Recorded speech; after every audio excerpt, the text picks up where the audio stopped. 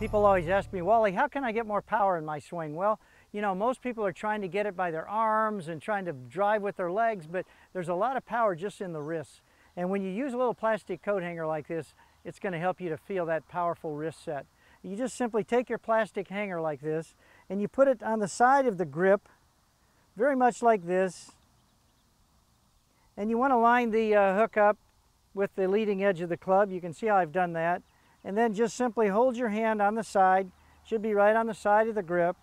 Put your right hand on there, and what you want to do is to get a correct set, the wrists go 90 degrees, and with this, I'm going to bring that hook right to my forearm,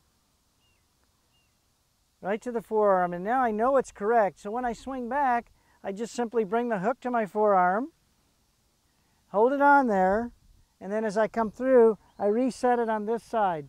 So the, the wrists go up and down in the golf swing.